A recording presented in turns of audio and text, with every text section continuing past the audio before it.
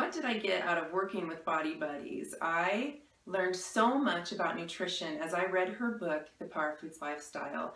In that book, she teaches so much about um, what to eat when, about these macronutrients of protein, carbs, and veggies and fats. And there is strategy to when to eat what. And I learned that and I learned the amounts for myself and was able to see dramatic and fast results.